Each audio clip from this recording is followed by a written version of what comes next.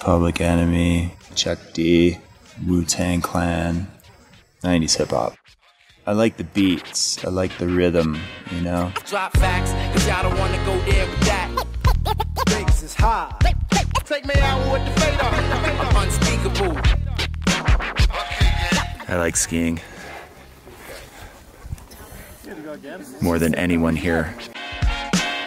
Let it be known that the truth is here. And these young thugs still need a booster chair. At the table with a label for food from their career. But treated like thieves.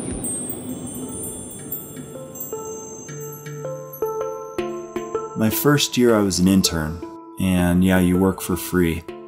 The second year, I got hired as a guide, and I made $8 an hour. You're 39 years old. You're making minimum wage. Pretty impressive, huh? so, before the cat track, there's a downhill with kind of a rolling compression. Silverton Mountain guiding is managing people, you're keeping them safe from themselves, from the environment. I ain't got the hammer cock to probably shoot. It's like no other place in the whole world. Shout to all my niggas that be hanging on the juice, waiting to make this shit bark, bang, let loose. Chill, man, chill, let's get at a dollar bill. They told me, chill, let's get at a dollar bill. They, they, Kind of like run of the season. Yeah, seriously. let's get at a dollar bill. Clothing over there, you got your kitchen stuff here, full bathroom. Yeah, uh, my maid hasn't come. Just a sweet little four burner stove here that I think I can get like a 18 or 19 pound turkey in there. Eggs, dried beans, Q-tips, and these two are clothing, only clothing. Personal hygiene corner. Don't need much room for that. This is sweet, this sink. I found it. If there's anything important, it's here.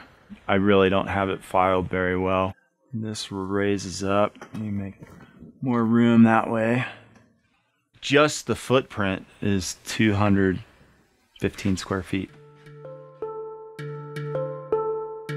Money doesn't matter to me. It never has. And it's not that I'm rich. I didn't come from money. And I still don't have money. If you have debt that you owe, you're not totally free. No rent, no credit card, no telephone, no car payment. I guess my mom and dad, you know, they just stress like, pay your bills on time. I'm the youngest of seven kids, five older brothers and one older sister. And being the last, mom and dad were like, we don't want to kick him out of the house. We want to hang on to this for as long as we can. I lived with my mom and dad till I was 26. They were happy with me saying that I wasn't going to grow up. I physically feel young in my mind. Everybody around me is younger than me.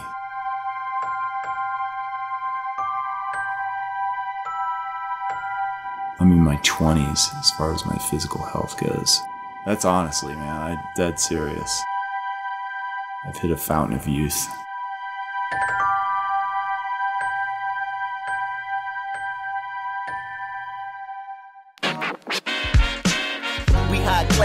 Bypass all the fly trash. Way fast on the ab when we ride past. Cause what's missing? This the latest edition.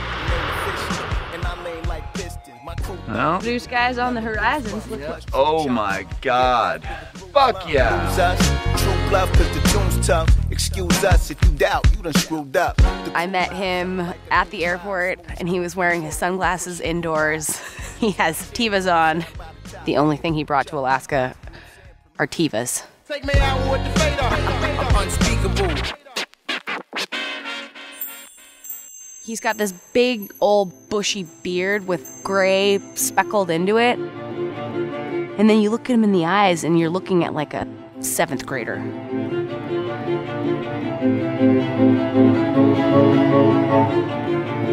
It's funny, I have this shirt somebody gave me. It says, uh, Ultimate Peter Pan.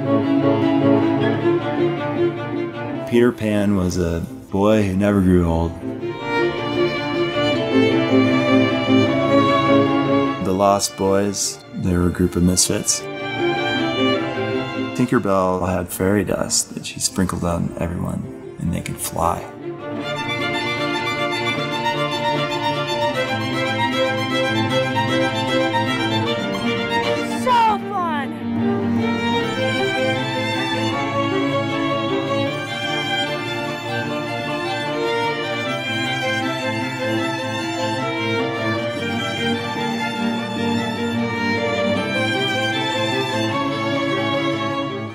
I think he was a tragic hero.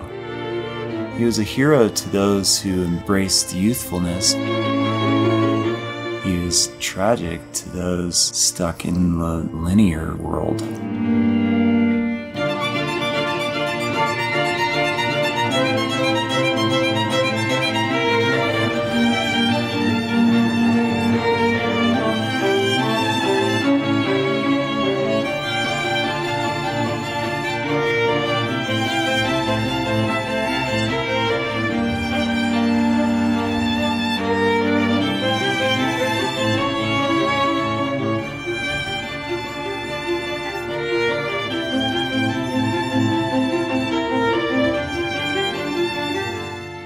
Don't see why it can't be a guide for the next hundred years.